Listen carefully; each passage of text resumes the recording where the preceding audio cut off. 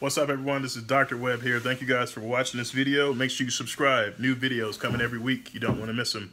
In this video today, I'm going to basically talk about how I prepare for surgeries. Um, a lot of people don't really understand that there's a lot that goes behind the scenes of uh, preparing for a surgery. Some people may think that, oh, we just walk into the operating room and perform surgery.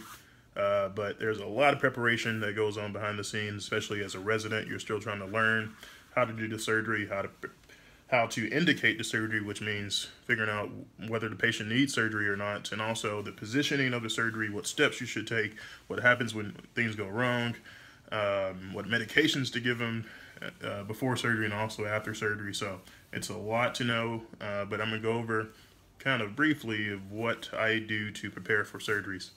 Make sure you guys subscribe and also hit the bell notification so you don't miss any videos that are posted every week. Here we go. Bye.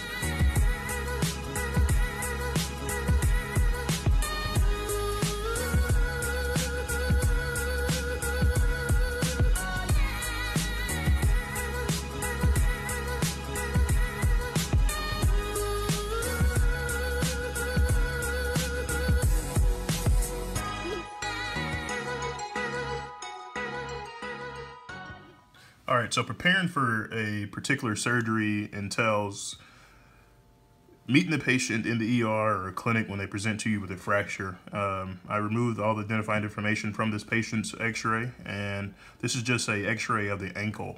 And you can see here that the there's a fracture kind of right here in the uh, ankle joint, uh, above the ankle joint.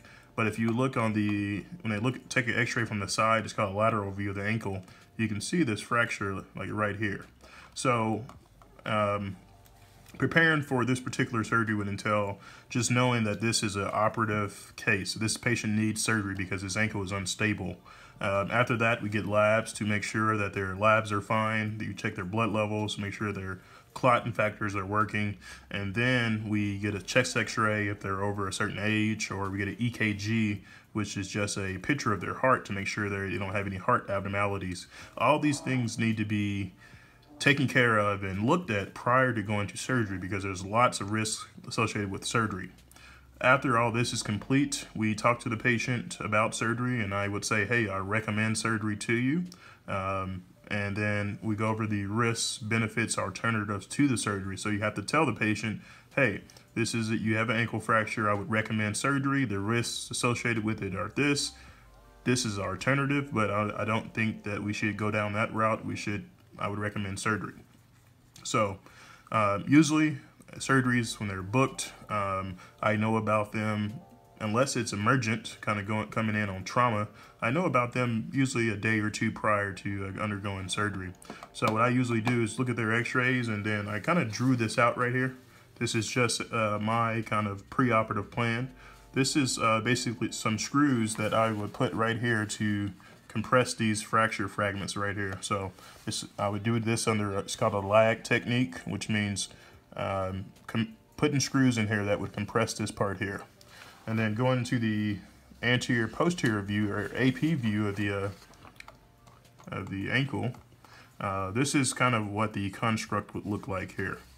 So this is a plate and some screws, a metal plate that goes on the outside of the fibula, this bone here, and then possibly a screw across the ankle joint if the ankle joint is unstable. So usually it's around six screws, three at the bottom and then three above the fracture to kind of hold it in place. So that is kind of what preoperative, you should look at your x-rays and, and figure out what the patient may need in surgery. So when you go into surgery, you kind of have an idea of what to do. So some other resources that I use, um, this is a good resource here. It's called the Operative Dictations in Orthopedic Surgery. And it's basically a, a PDF or a book that essentially, let me go up to the top, that essentially details the steps of the surgery. Uh, because after each surgery, uh, you have to basically type up or dictate, which you're talking to a phone, a recording, and then someone types it up for you you dictate the steps of the surgery. So this has a lot of um, the basic surgeries and orthopedics. I'm gonna go down to foot and ankle, and let's look for one that has a uh, ankle fracture.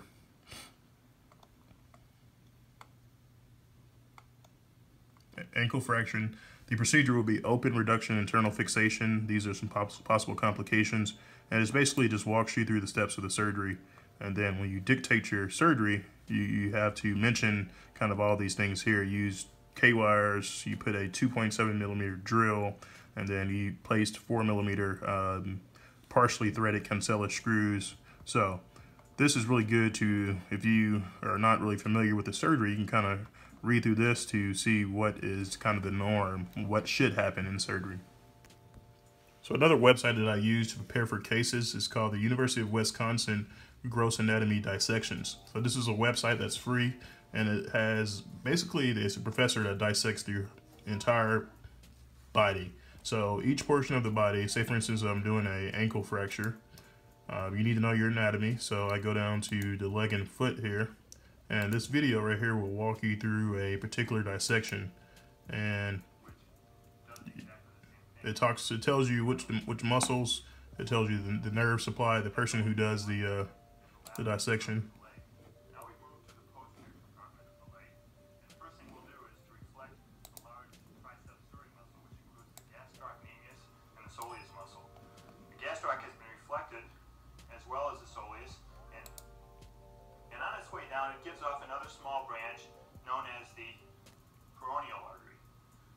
branch right here is the peroneal branch.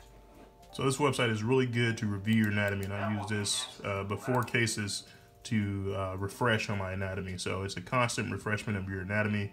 If you're a surgeon, you have to know the anatomy before you can do the surgery. So, so another website that I use is called Ortho Bullets. This is a website uh, for orthopedic uh, surgeons and residents, medical students. This basically tells you um, kind of the steps of the surgery. It tells you that you should mark out your lateral malleolus. Uh, this, you should make an incision four to six centimeters in length. Uh, you should open up your fracture site. Watch out for the superfi superficial peroneal nerve. Uh, you should drill with a uh, 2.7 2.7 millimeter drill or a 3.5 drill, and then you should um, basically tells you the steps of the surgery. So this is a website, orthobullets.com, that we use in orthopedics. And it has pretty much all the top topics in um, orthopedics. This is spine surgery right here, so spinal cord injuries. Tells you about the uh, spinal cord injuries and what you should look for, and neurogenic shock, spinal shock. Um, it also tells you like foot and ankle. You can look at uh, Achilles tendon rupture and when to fix them, how to fix them. So this is a really good website to use, orthobullets.com. So this is another good website called the AO uh, Foundation. Uh, this is a website that we use in orthopedics, and it basically you can pick out different parts of the body. Say for instance, let's go back to the uh, beginning of this website and say for instance, we're working on the, um, let's say the humerus. Someone has a fracture of their humerus, you can click on approach. Um, if we're gonna use a, let's say anterior lateral approach to the humerus, this tells you make your skin, skin incision here. You're gonna carry that down, superficial dissection, deep dissection, and then watch out for this, the radial nerve, immobilize it. So this is a good website to uh, learn kind of the steps of the surgery. It's called aofoundation.org. Um, this is a, a, site that orthopedic surgeons use to uh, fix fractures and also has some veterinarian. Let's see, I've never used this before. Let's check it out and see. So a lot of these you have to log in for, but say for instance, a this animal here has fractures of his, looks like his toe. Uh, you can fix it with screws, so it tells you essentially how to fix it. So pretty, pretty cool website here. So I'm a very dimensional, three-dimensional person, so I have to see things. So one of the things I have at home is our models. Say, for instance, we um, we're fixing a pelvis fracture tomorrow. I have model at home that would uh, I look at and I try to plan my trajectory of, of screws. Say, for instance, this patient has has a uh, fracture of their sacrum or their, um, this is the ilium and the sacrum. They have a fracture right here. And we need to uh, put a screw kind of in this trajectory to uh, go across and fix this portion of the bone here. So having a model and actually looking at it, holding it in, in your hands can be very helpful because it gives you a 3D kind of um, look at it. So uh, I know my starting point for my screw needs to go in this direction here and it needs to go across the sacrum. Uh, there are some nerves that run right here, the L5 nerve root on both sides. So if you go to, to anterior or to the front, you can hit that nerve and damage that patient's nerve. If you go too low, there's another nerve that runs right through this little hole right here called your foramen, the, S, the S1 nerve root. So it has to be very precise. Um, you have to use, we use x-ray in surgery. So I use this model to kind of uh, look at it prior to surgery and just review my orientation so I know what to um, what to do in the uh, day of the surgery. And the last thing is books. So uh, if you're a surgeon, you have to know your particular anatomy.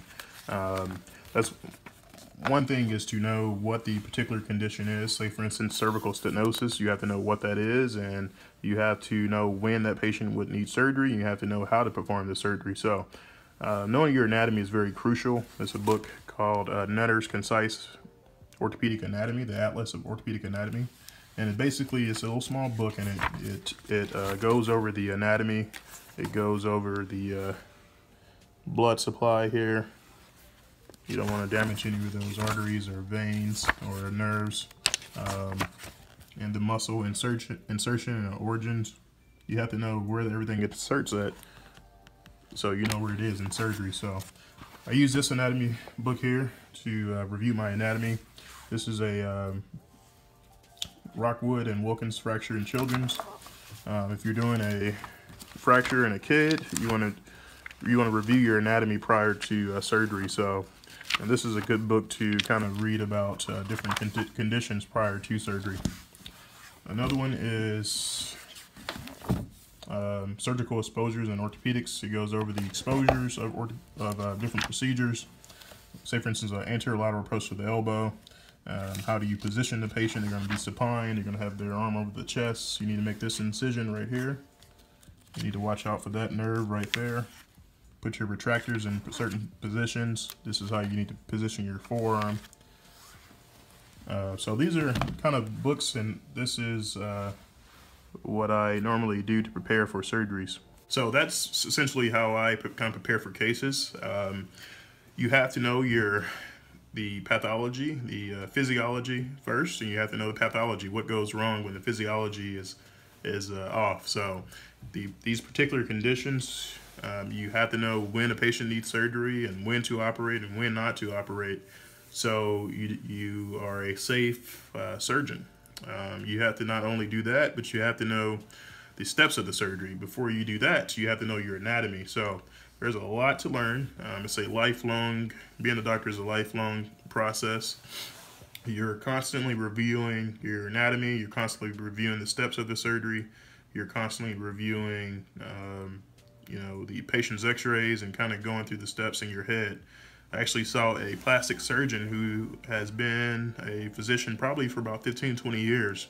And he had uh, some of these anatomy books in his case the other day out in the surgery room. He was reviewing it the night before. So, and he's been a surgeon for 15, 20 years. So you're going to be constantly reviewing your anatomy, constantly going over the steps of the surgery, like I said, in your head. And um, even if you're out practicing 10, 15 years, um, these things never, the anatomy never changes. So you have to know your anatomy, learn it well the first time. But surgery is very stepwise. You have to know the steps of the surgery. You have to know how to position the patient in surgery. What happens when things goes goes goes wrong? Um, if the nurses call you and say there's a problem with your patient after surgery and they're up on the floor they're or it, which means in the hospital or in the recovery room or the patient's already at home, you have to know how to deal with the complications. So that's why surgery residency is five years. because uh, it's a lot to learn and uh, you just have to take it day by day and you have to be disciplined in your studies, and, you, um, and it'll eventually come to you, but uh, with repetition. So this is Dr. Webb here. Thank you guys for watching this video. Uh, make sure you subscribe. Also hit the bell notification.